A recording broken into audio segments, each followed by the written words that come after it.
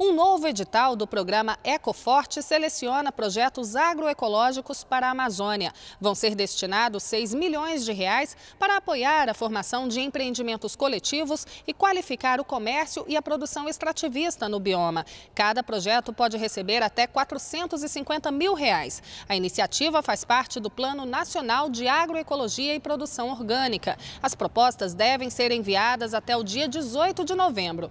Mais informações e o edital completo você encontra na página da Fundação Banco do Brasil na internet. De Brasília, Ana Gabriela Salles.